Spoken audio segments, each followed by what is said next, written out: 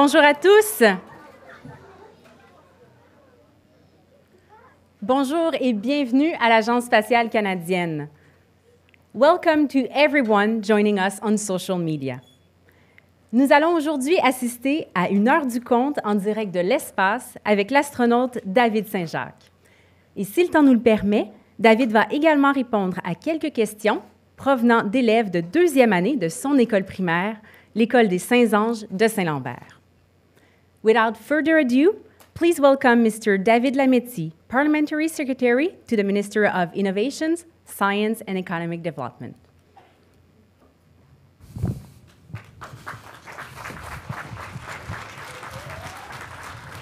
Merci, Merci. Wow, bonjour. Je suis très heureux d'être à l'Agence spatiale canadienne aujourd'hui. Comme vous le savez sans doute, l'astronaute canadien David Saint-Jacques s'est envolé dans l'espace le 3 décembre dernier. We are very lucky to, to take part in a live connection with him while he is aboard the space station. This special event is sure to be remembered by the students here with us today. Perhaps some of you will even be inspired to reach for the stars yourselves. I've heard that reading stories together is a favorite part of the Saint Jacques family's evening routine. Inspired by David's desire to continue with the routine while in space and connect with his three children in a way that is relatable to so many young families across Canada, the Canadian Space Agency developed the Explorers Club, a space themed story featuring Canadian astronaut David Saint Jacques. Ce livre numérique est une initiative visant à susciter l'intérêt des petits pour l'espace, l'apprentissage et la lecture. Les recherches démontrent que la lecture aux enfants a un effet durable sur l'apprentissage de la langue et sur leur aptitude à lire et à écrire. Prendre un moment pour lire avec votre enfant est l'un des plus beaux cadeaux que vous puissiez lui faire. J'en ai eu trois et je l'ai fait. J'ai donc le plaisir de vous dévoiler le tout premier livre numérique de l'Agence spatiale canadienne, le Club des explorateurs. Dans quelques minutes, David Saint-Jacques lira cette histoire pour la première fois depuis l'espace. Êtes-vous prêt pour l'heure du conte en direct de l'espace? Je n'ai pas entendu. Êtes-vous prêt pour l'heure de conte en direct? Voilà, c'est beaucoup mieux. Je vois les pyjamas aussi. Comme vous tous, j'ai très hâte de voir et de parler avec David. Je cède donc la parole à Annie afin qu'on puisse procéder aux derniers préparatifs pour ce moment bien spécial. Merci.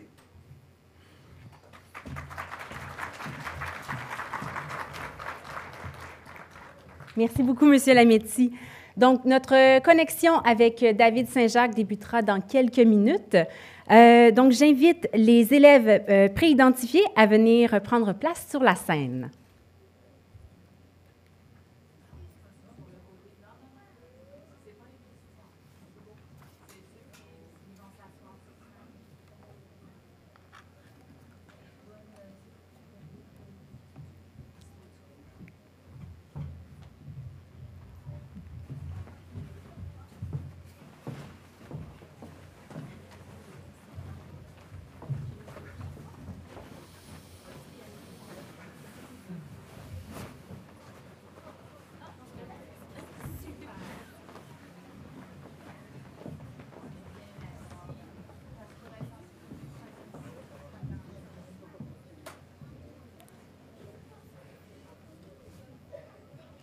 Parfait. Est-ce que, est que, vous êtes confortables, les amis? Super. Alors, euh, il nous reste encore euh, une dizaine de minutes avant le, début de notre connexion. Euh, donc, je vais en profiter pour, pour poser quelques questions aux, aux, élèves de première et deuxième année qui sont avec nous aujourd'hui. Donc, les amis, à main levée, juste pour voir un peu, est-ce que vous levez la main si vous connaissez l'astronaute David Saint-Jacques? Oh, wow! On a vraiment des enseignants et des enseignantes qui ont fait un très bon travail ici.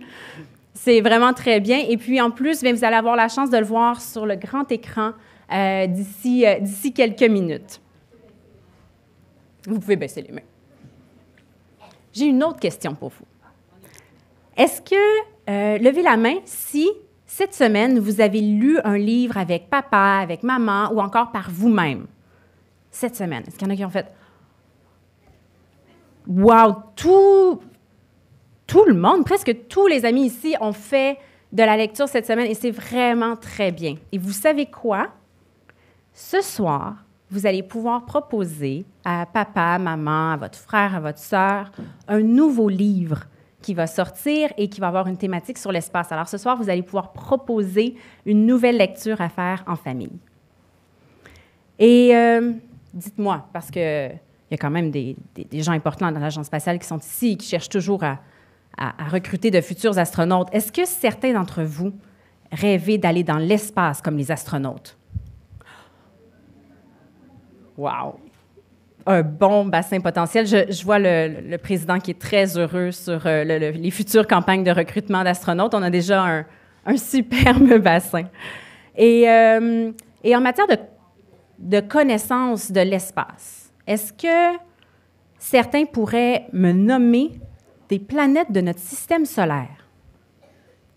Ah! Alors, je vais, aller, sur la scène parce que je vais mieux les entendre un peu. Est-ce que tu peux me donner une, planète du système solaire? Vénus, oui. Est-ce qu'il y en a qui en connaissent d'autres? Mars, oui, la planète Mars. Est-ce qu'il y en a d'autres? Si. Jupiter, wow, on en a, déjà beaucoup. D'autres? Oui.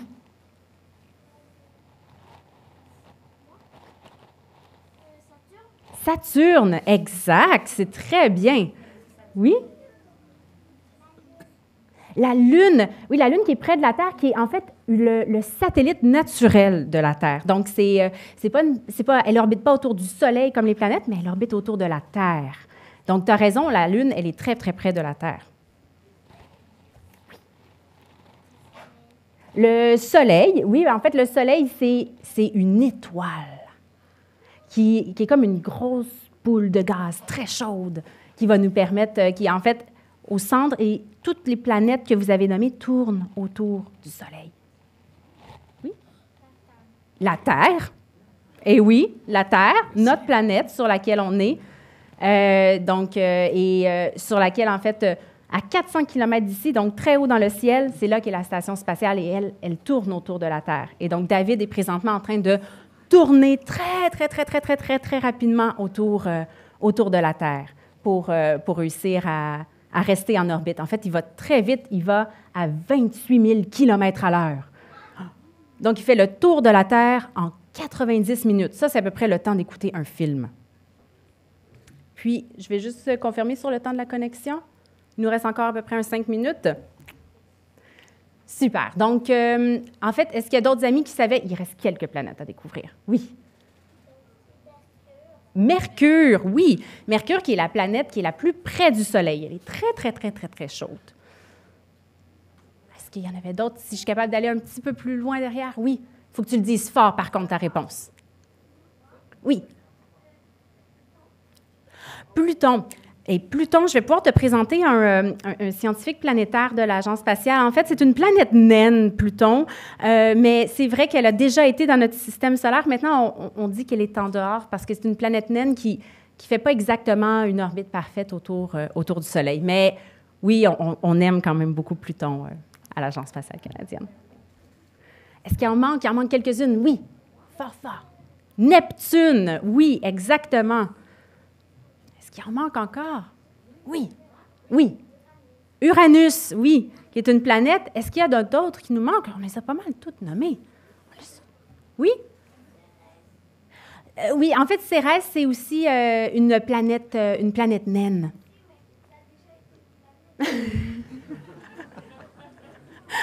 ah, mais c'est bien. Là, moi, je vois le, je vois le potentiel de, de scientifique. et, oui, c'est parfait.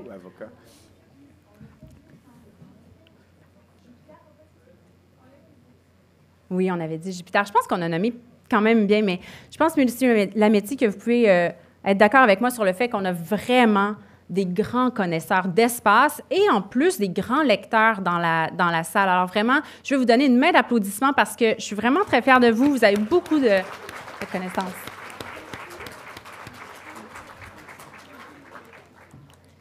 Monsieur Lametti, est-ce que vous aviez des questions pour, euh, pour les enfants?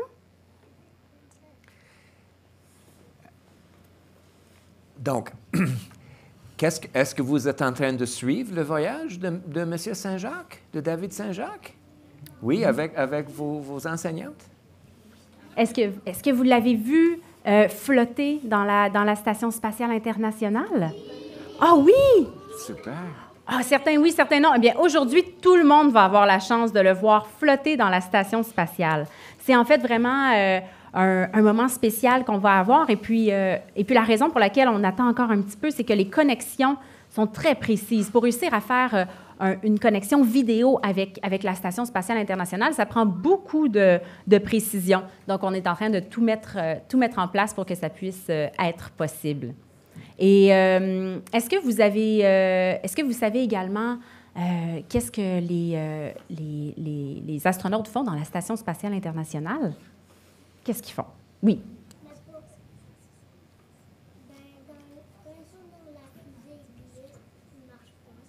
Ah, quand ils sont dans la fusée, oui, pour se rendre, effectivement, ils prennent une fusée. David s'est rendu dans une fusée Soyuz, donc il est parti en fait du Kazakhstan et il s'est rendu dans la station spatiale. Et ça lui a pris que six heures pour se rendre. Donc, ça a été quand même euh, très rapide. Et puis, euh, une fois dans la station spatiale, euh, David fait beaucoup d'expériences scientifiques. Donc, quand vous faites de, de, la science à l'école aussi, dites-vous que des astronautes dans la station spatiale, eux aussi, ils font beaucoup de sciences, ils font beaucoup d'expériences scientifiques pour réussir à, à étudier plein de choses, entre autres le corps humain dans l'espace. Est-ce que vous pensez que que c'est bon pour le corps humain d'aller dans l'espace puis de flotter comme ça en microgravité? Pas bon pour le corps. Parce qu'en fait, euh, notre corps est habitué à la gravité, est habitué d'avoir du poids. Donc, dans la station spatiale, les astronautes, euh, ils se mettent à avoir des muscles plus faibles, des os plus faibles. Ils doivent faire beaucoup d'exercices tous les jours pour réussir à rester bien en forme. Un peu comme nous sur la Terre, c'est important de faire de l'exercice tous les jours. Mais pour les astronautes, c'est encore plus important. Ils en font pendant deux heures et demie par jour. De l'éducation physique pendant deux heures et demie de temps. Mais leur gymnase, c'est beaucoup moins grand, par contre. Non, pas, de jeu de ballon. Et euh, ça va être plutôt euh, du tapis roulant, du vélo stationnaire, euh, plein de choses qui vont en fait leur permettre de garder des os et des muscles très forts. Je pense qu'on est prêt pour notre, notre connexion dans une petite minute, donc on va, on va se, se préparer à, la, à la connexion. Et les amis sur scène aussi, vous êtes prêts à écouter l'histoire?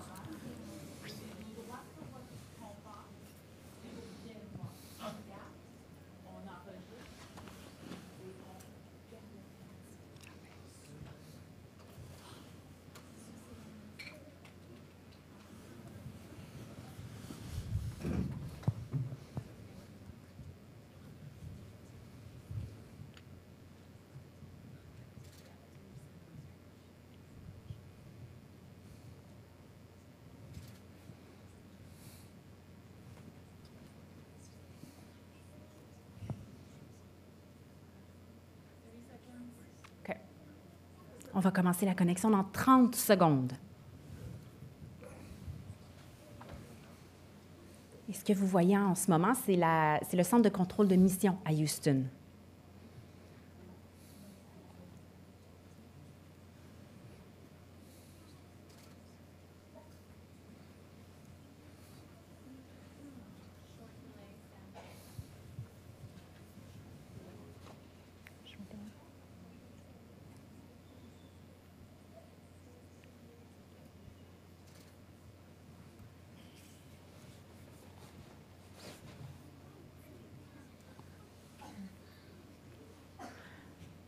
Y a un petit délai dans la connexion.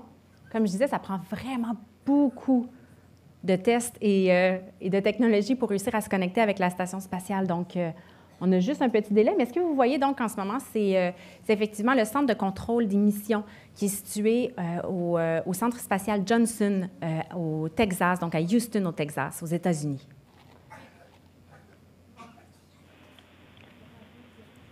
Station, this is Houston. Are you ready for the event?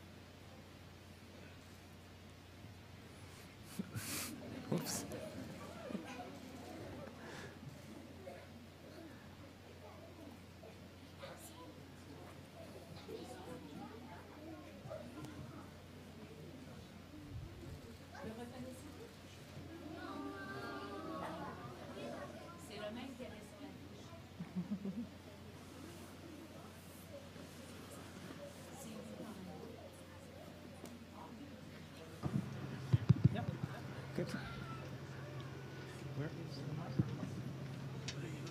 Well, the handheld. The handheld. The handheld. That's right. Very good. You? Okay, okay. I'm good. I'm good. I'm good.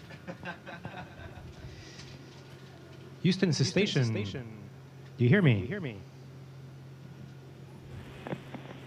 Loud and clear. Are you ready for the event? I am ready, for, the event. Canadian, Canadian Space Agency, this is Mission Control Houston. Please call station for a voice check.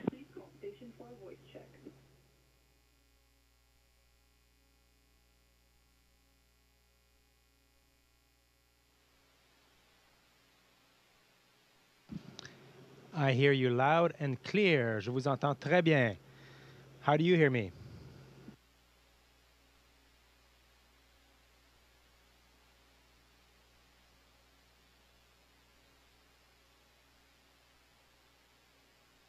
Bonjour tout le monde.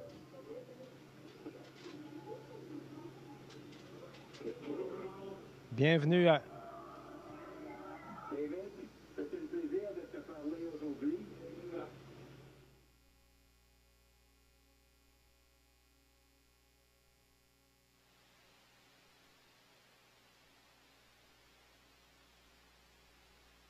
de Saint-Ange, ton école primaire.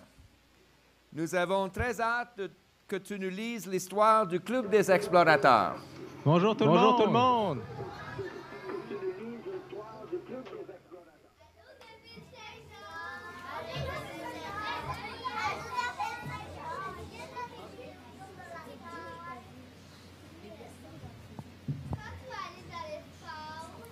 David, on- nous allons être prêts à t'écouter. Merci beaucoup d'être venu. Vous êtes déplacé jusqu'à l'Agence spatiale canadienne.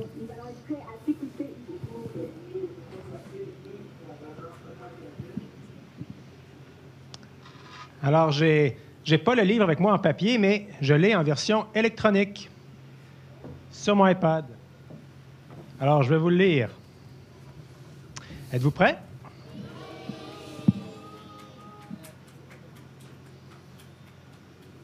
Voici le club des explorateurs. Nico, Laila, Mathias et Gemma, sans oublier le petit chien curieux, Chewie. C'est le chien le plus aventureux de l'univers, ou du moins de son quartier. Ce jour-là, les cinq explorateurs jouent tranquillement dans leur cabane lorsque l'ancienne télévision brisée des parents de Nico s'anime soudainement. Laila dit Regardez, c'est David Saint-Jacques, l'astronaute canadien. Nico répond Tu as raison, Laila. Et il fait un signe de la main depuis l'espace. Ouais, génial, dit Mathias. Moi, quand j'étais petit garçon, je rêvais de l'espace et des vaisseaux spatiaux. À l'époque, ça me paraissait impossible. Mais me voici aujourd'hui dans l'espace. Ayez un rêve. Voyez grand et vous pourrez décrocher la Lune. Osez explorer. Et tout le monde reprend Osez explorer Et la télévision s'éteint brusquement. Mathias demandait Hey, qu'est-ce qui vient de se passer Et Gemma dit Je ne sais pas, Mathias. Mais moi, je veux explorer l'espace, moi aussi. Nous aussi Waf waf dit Chewie. Les enfants se mettent donc au travail pour construire la fusée la plus fantastique qui ait jamais volé dans l'espace. Et bien sûr, une petite fusée pour Chewie. Après plusieurs longues, très longues minutes de dur travail, les enfants s'arrêtent pour admirer le résultat de leurs efforts. Une magnifique fusée pour chiens et une plus magnifique encore pour enfants. Oh non! Chewie a appuyé sans le vouloir sur un bouton qui l'a propulsé dans l'espace! À la vitesse de l'éclair, Gemma fait décoller le vaisseau spatial des enfants pour rattraper leur toutou adoré.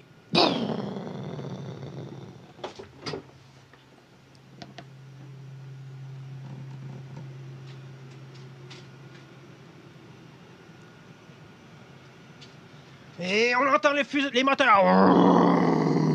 Chewie, on vient te chercher! Mais qui a mis tout ce carburant dans la fusée? Je ne sais pas, Mathias, mais nous filons tellement vite que je ne sens plus mon visage. Ils sont écrasés par l'accélération. Et tout à coup, le silence tombe. Ils sont rendus dans l'espace. Les enfants se retournent pour regarder par la fenêtre vers la Terre. Elle ressemble à une belle bille bleue géante et éblouissante qui rapetisse rapidement à mesure qu'ils s'en éloignent. Tous se disent qu'après tout, c'est pas si effrayant de se trouver dans l'espace. Pour l'instant, du moins. Au même moment, les enfants aperçoivent quelque chose d'étrange. Un gros tourbillon cosmique dansant et scintillant dans l'espace. C'était fascinable. C'est un mot inventé qui veut dire quelque chose qui est à la fois fascinant et formidable. Et ils entendent un gros ouf en provenance de l'intérieur du bouillon, du tourbillon. Oh, Chewie est là! Je ne sais pas vraiment si nous devrions entrer, Nico. Ça a l'air plutôt effrayant. Mais là, là, nous devons tout le retrouver. Il faut explorer, non? Jenna met les gaz à fond et les dirige tout droit vers le trou tournoyant. Et quand ils ressortent de l'autre côté, c'est magique. C'est un endroit tellement incroyable qu'ils doivent se pincer pour s'assurer que leur imagination ne leur joue pas des tours tout autour tellement de belles choses. Ah, boum! Toc, toc! Ça vient de l'extérieur. Ils regardent par la fenêtre. C'est. C'est. Un monstre de l'espace! crie tout le monde en même temps. Ils trouvent un endroit où se cacher dans le vaisseau. Gemma prend son courage à deux mains, sort un peu la tête et observe longuement la créature. Et ses yeux cosmiques. Elle pense y voir. Est-ce que ça pourrait être des larmes? Et Gemma dit Hé tout le monde, je crois que ce n'est pas un monstre effrayant, regardez. Ah, elle veut simplement être notre amie. On peut se sentir très seul ici dans l'espace après tout. Les enfants sortent de leur cachette et font un gros câlin à leur nouvelle amie. La créature pousse un petit gloussement et devient orange vif. Elle est heureuse maintenant. Aider cette créature solitaire leur a donné l'envie de retourner à la maison. Mais ils n'avaient toujours pas retrouvé Chewie. Nico lui demande As-tu vu un chien passer par ici La créature pointe la terre du doigt par la fenêtre. Waf, waf, on l'entend. Nous t'entendons, Chewie. Merci, créature de l'espace, qui n'est plus si seule maintenant. L'équipage fait un au revoir, alors que Gemma lance le vaisseau vers les aboiements, les moteurs à pleine puissance. Le vaisseau spatial file comme l'éclair dans l'espace. Youpi! Oh non, le propulseur vient de se casser. À l'aide, Nico! Vif d'esprit, Nico saisit un cure-pipe et rechange et fixe le vaisseau spatial. Voilà qui est mieux. Mais oh, attention aux astéroïdes! Oh, oh, et un satellite! Comme des vrais astronautes, ils manœuvrent habilement pour éviter tous les dangers. Ouf, ils ont réussi. Peu après, Leur trajectoire les mène vers une ombre de très grande taille. Oh! Ils regardent au loin. Oh, mais c'est la Station spatiale internationale. Et David leur fait un salut du hublot. Et Chewie est à ses côtés.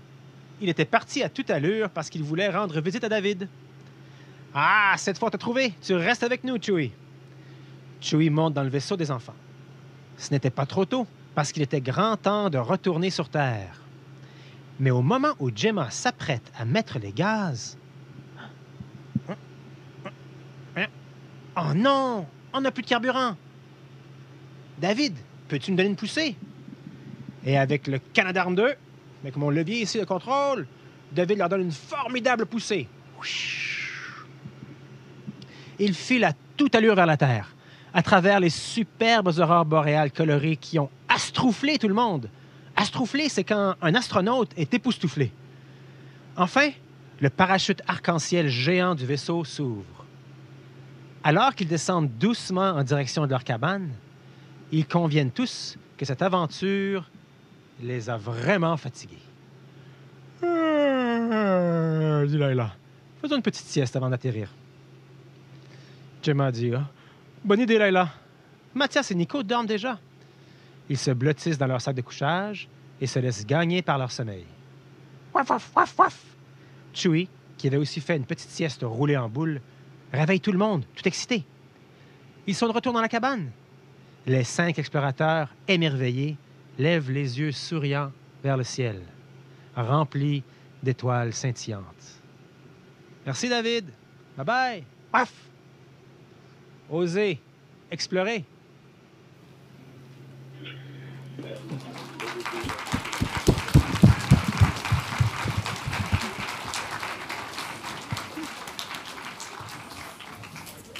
Merci beaucoup, David, euh, pour euh, la lecture de cette histoire. Et maintenant, on a des enfants de l'école des Saints-Anges qui sont impatients de te poser des questions. Et nous allons donc débuter avec Lily-Anne. Bonjour, Monsieur David Saint-Jacques. J'aurais une question à vous poser. Quel livre avez-vous apporté dans l'espace et pourquoi avez-vous fait ce choix?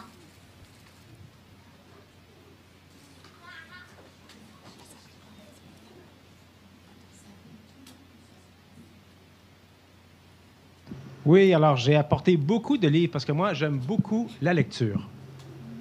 J'ai amené des livres pour enfants qui ont été choisis par mes enfants. J'ai amené aussi des romans d'aventure que je lisais quand j'étais un adolescent.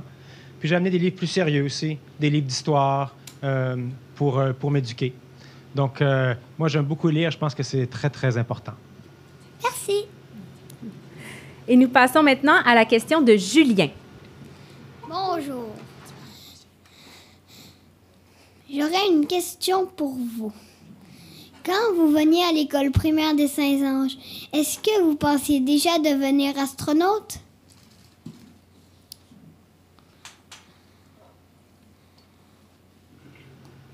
Sounds great.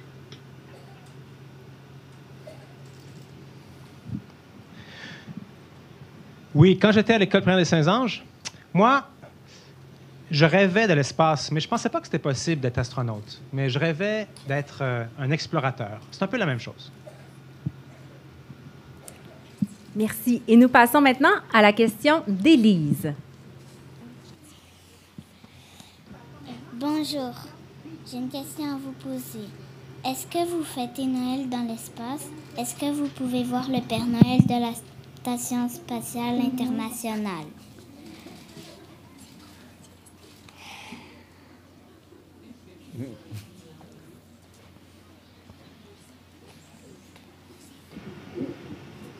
Oui, on va fêter Noël ici.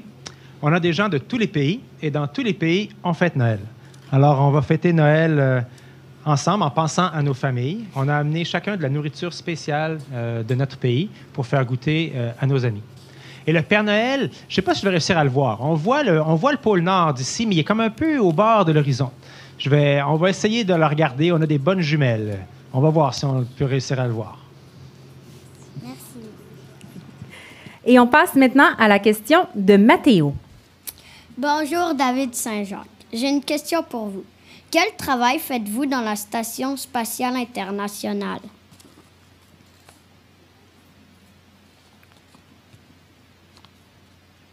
Ah, alors ici, la Station spatiale internationale, c'est un laboratoire. On fait de la recherche scientifique. Ça veut dire qu'on étudie le corps humain, on étudie la matière, on étudie les étoiles, on étudie la Terre. C'est un peu comme, euh, une université, euh, la Station spatiale internationale. Ça, c'est une grosse partie de notre travail. Aussi, ben, des fois, il faut la réparer quand les choses sont cassées. Alors, euh, il y a plein de machines ici. Alors, on passe beaucoup de temps à réparer. Et puis aussi, on nettoie parce que c'est notre maison. On vit ici. Alors, c'est une partie de notre travail aussi, c'est de s'occuper de notre station, de la garder en bon état. Comme toi, tu t'occupes de ta chambre. Merci. Merci. On passe maintenant à la question de Laureline. Des fois, Bonjour. on utilise Canadarm 2, le bras robotique canadien. Bonjour David Saint-Jacques. J'ai une question à vous poser. Est-ce que vous pouvez voir les zones les plus polluées de la planète Terre?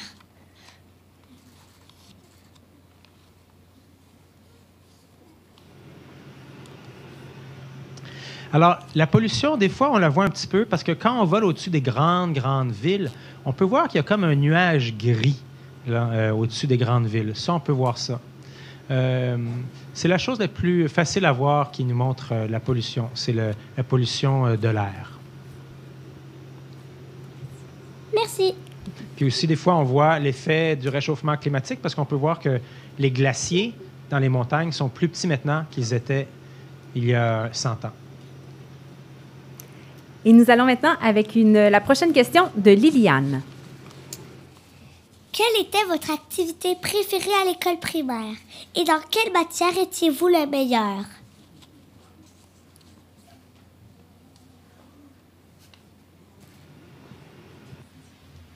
Ah, mon activité préférée, moi.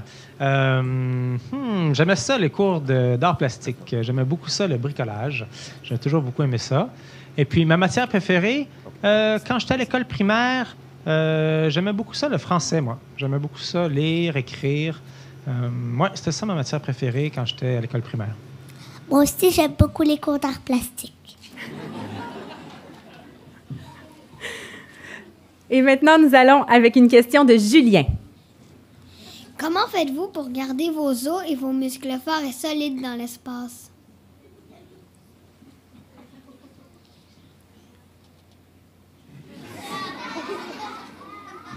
Ça, c'est très important. Parce que si on fait rien dans l'espace, regarde, c'est tellement. Regarde, dans l'espace, là, tu vois, on flotte comme ça, comme dans une piscine. Tout, tout, tout. Si on fait rien, on va perdre tous nos muscles et tous nos os. Puis quand je vais revenir sur Terre, je ne pourrai pas marcher. Alors ça, je ne veux pas. Je vais être capable de prendre mes enfants sur mes épaules quand je vais revenir. Alors, on a euh, une machine d'exercice. On fait d'exercice tous les jours. On fait deux heures d'exercice par jour. On court, on a, un vélo stationnaire, on a un tapis roulant avec un harnais qui nous tient pour pas qu'on s'envole, puis on peut courir dessus. Puis on a une machine pour faire euh, comme euh, des poids et haltères. Et avec ça, on peut rester en très bonne forme. Merci. La prochaine question vient d'Élise. Bonjour, je vais vous poser une question. Quelle est votre routine dans l'espace?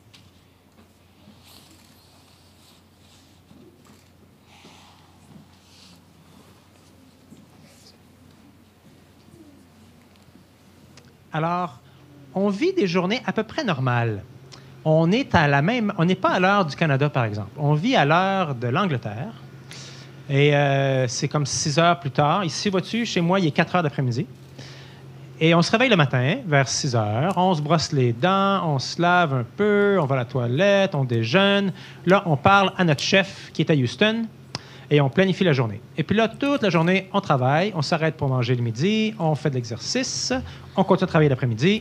Le soir, on parle encore à notre chef pour parler de la journée.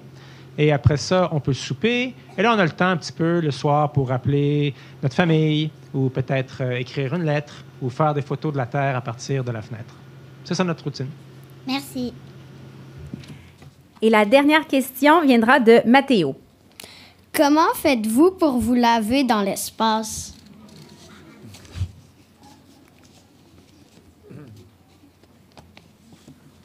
Très bonne question. Alors, on ne peut pas prendre de douche. Parce que imagine si je prenais une douche, l'eau, elle ne va pas vouloir tomber dans le, dans le fond de la douche, hein, elle va flotter. Alors, ce qu'on fait, c'est que, imagine, imagine ça. Imagine que j'ai, je prends un, un sac d'eau. Euh, J'en ai un ici.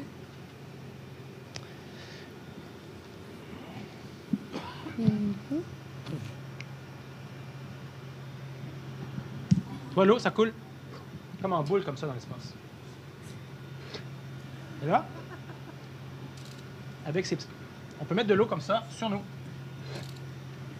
Et l'eau, va rester là, collée sur nous. L'eau va rester collée sur nous. Et là, tu peux te frotter avec un peu de savon. Quand tu es propre, tu prends une serviette, tu enlèves l'eau, et voilà. Donc, on se lave un peu comme on lave un bébé. Un morceau à la fois. On lave un bras, lave l'autre bras, lave une jambe, lave l'autre jambe, lave ton ventre, lave ton dos. Puis à la fin, tu es propre. C'est comme ça qu'on se lave. Un morceau à la fois. Merci. Et maintenant, euh, je laisse la parole à M. David Lametti. David, j'ai une question pour toi. Est-ce que tu es en mesure d'écouter les matchs du Canadien de Montréal ou est-ce que tu dois te contenter avec la Ligue russe?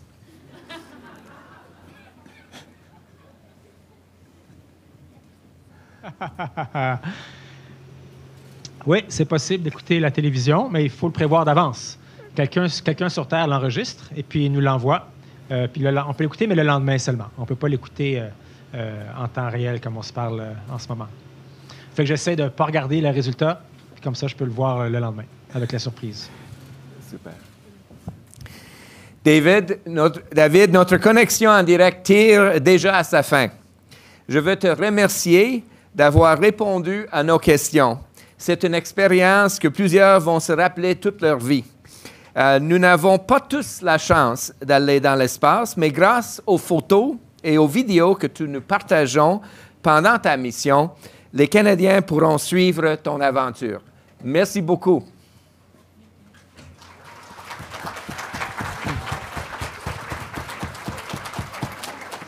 Merci d'avoir pris le temps. Bye bye tout le monde. Station, this is Houston ACR. That concludes the event. Thank you, Canadian Space Agency and participants. Station, we are now resuming operational audio communication.